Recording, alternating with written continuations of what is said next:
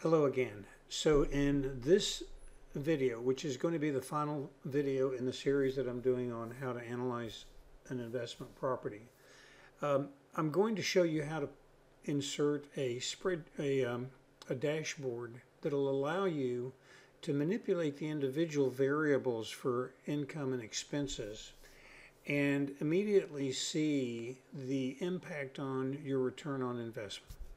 So you'll notice now a couple of things. First of all, I've cleaned the spreadsheet up just a little bit since the last video. And here's what I've done. Uh, aside from a little bit of color, you'll notice that it starts on row 11 and there's something above which is what I'm going to show you and I'm going to show you how it interacts with the rest of the spreadsheet. But for the starting point for today, I wanted to have a little bit of simplicity.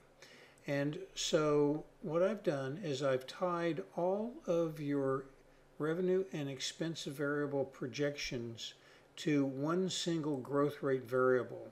Now the growth rate variable is 1.05, which means that we're going to be making a 5% year over year increase in revenue and expenses.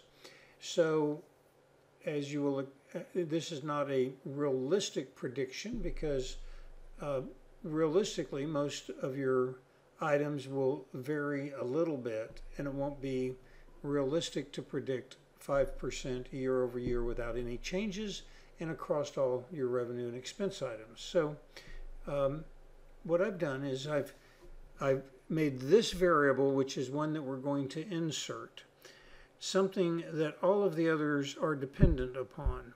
So the tax growth rate variable is tied, and you'll notice the field plus B5, it's, it's tied directly to the growth rate variable. The insurance growth rate variable is tied to the same, actually is tied to the, the tax rate variable. So all of the variables in the expense section are tied to the tax rate variable, which is tied to the growth rate variable. So all I have to do is insert one variable and everything on the spreadsheet changes. Now, um, the year one variable for tax growth rate is tied to the tax rate variable. So is each one of the variables for all of the years. Okay, so everything is currently tied to the um, to the tax rate variable, which is tied to the growth rate variable. Okay, so now what I'm going to do is I'm going to expand the spreadsheet um, by clicking Format and Auto Fit Row Height. And you'll see that the spreadsheet now has a new section inserted above it.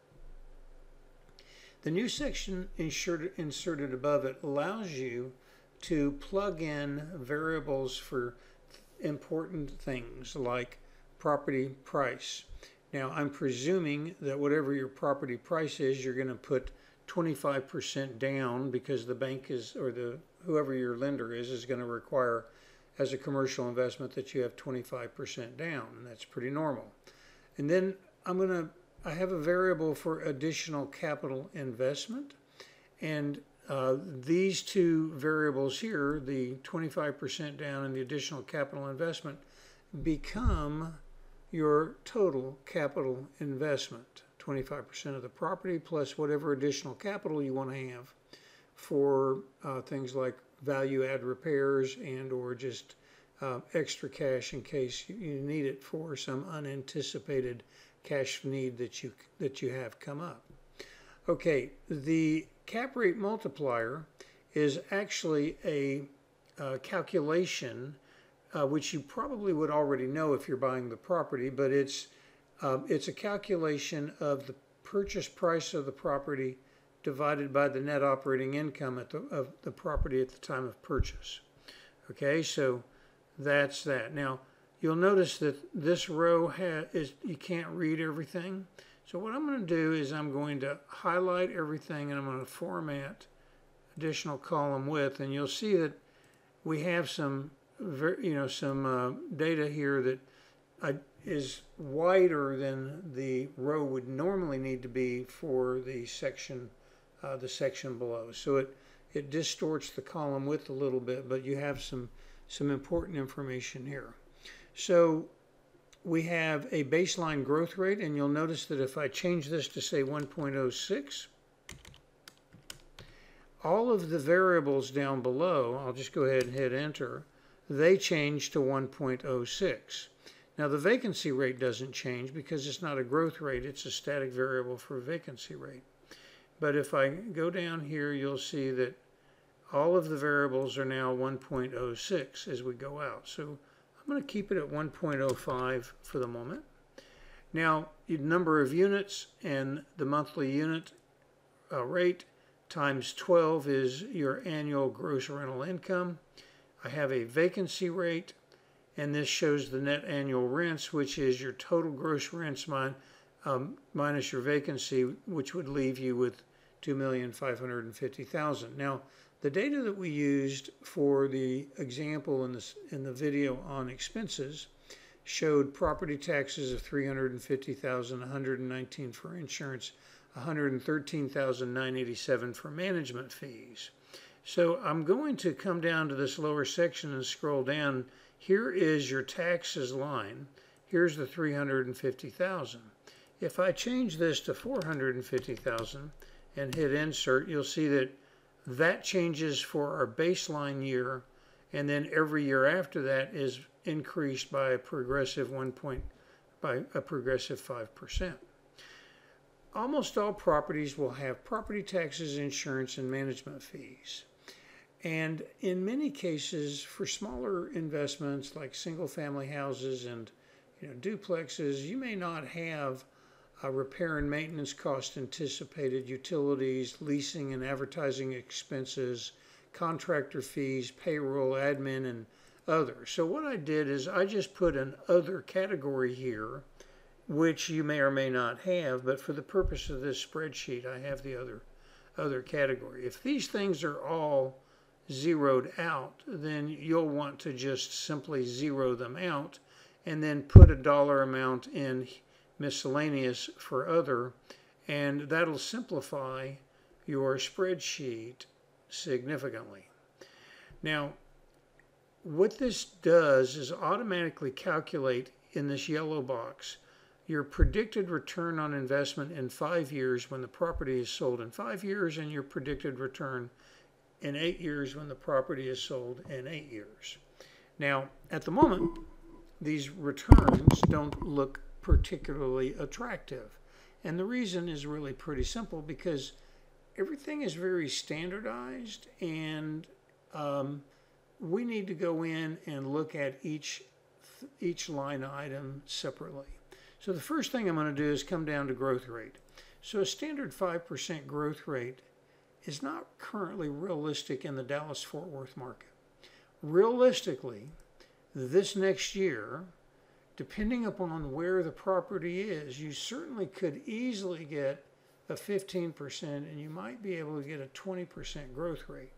So if we presume that you're going to go into a good market take a property and improve it. In today's today's market in the Dallas Fort Worth area and in many other markets, there's such there's such a shortage of housing, and housing is so expensive because of the interest rates. I'm going to say that for the next year, you could probably get a 20% increase. So I'm just going to plug in for year number one a 20% increase, 1.2. I'm going to plug in one 15% increase the year after, 10% the year after, and now I'm going to leave it at 5% going out further. Now, I don't know why we have a dark field here. There we go. I don't know what happened. Something happened. This changes our return on investment significantly in a five-year to eight-year time frame. So all I really did for these is I left the spreadsheet, all of the analytics for the spreadsheet in place, and I went down and I captured the return on investment information, which was on my last field. And this is a return on investment calculation for all of the different impacts for the for the cash flow and for the sale of the property. So in each one of these years, I presume that the property is sold for whatever is the current multiplier, the net in, net operating income multiplier based upon what the net operating income is for that year, along with positive cash flow for the year, net operating income. So um, it, that's what this this dollar amount or this multiplier or the return on investment is here. So now we can come back up and we can say, well, um, maybe that's a little too aggressive for us to be confident. So let's give 10% for the first two years and maybe also for the third year. So that changes the return on investment uh, from to 1.8 at the end of five years, basically almost doubling your money and almost tripling your money, 2.7 at the end of eight years. So now you can play around with individual variables. Let's go down and look at your taxes. Let's say that you're comfortable with the taxes going up and your insurance going up and your management fees all going up by the same 5%. But let's go down and look at a particular line item, which is contractor services. Here we have uh, $175,000 in contractor services. If we presume 175,000 in contractor services, in other words,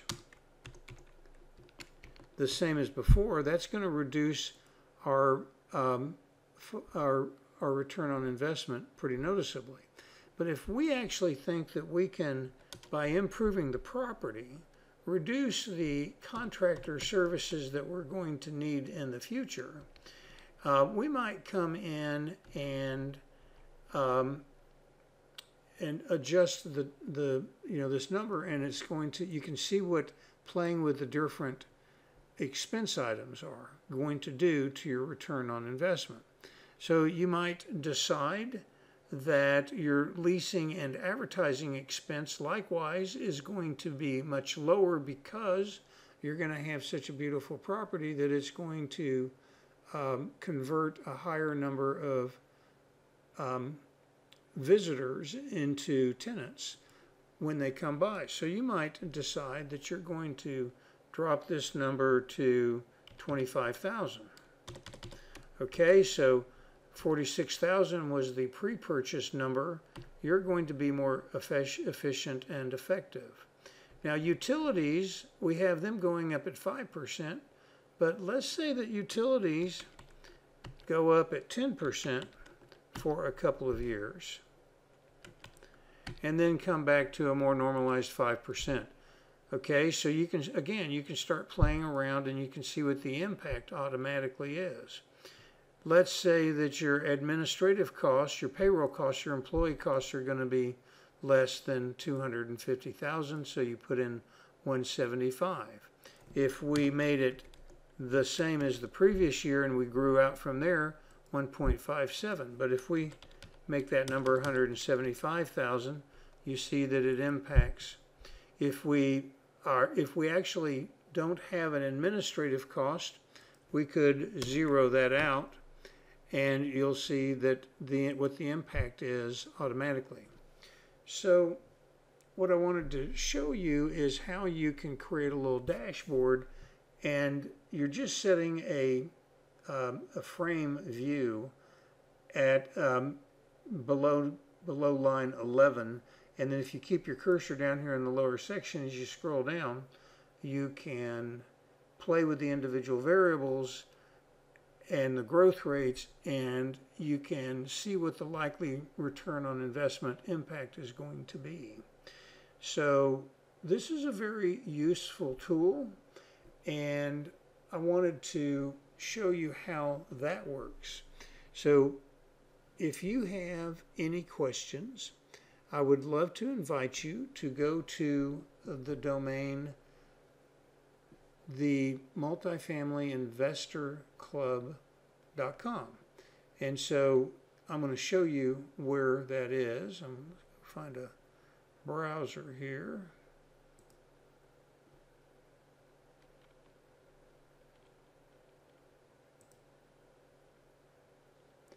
So, um, actually, I need to. I wonder if that browser is showing up inside of the um, inside of the. Yeah, there it is. Okay, so I'm going to make this a little smaller. Come on, become smaller. Here we go. So I'm going to put it inside the window here so you can see. And I'm going to go to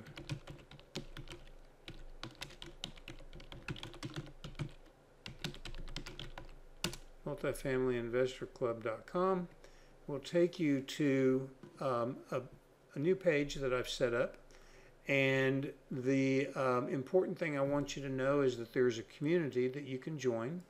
If you come and you click on the Join My Community link, either this button right here or this button on the left hand side that says Join Our Community, I will automatically send you a copy of the spreadsheet that you can just use. You can edit it any way that you want to. Um, and you will also get the side benefit in the community of being able, and I'm still building this out, but of being able to network with other investors, uh, real estate investors, real estate property syndicators, and um, just basically be able to search a database if you're looking to to find syndicated properties that you can invest in. I'll have those available for you. And if you're looking for um, accredited investors that are potential investors in your property, I'll have those as well that you can look for. So uh, please go there and uh, click on the Join My Community button and create an account. And I will automatically send you the spreadsheet so that you have uh, you have all of this uh, yourself that you can work with directly. All right, thanks for watching.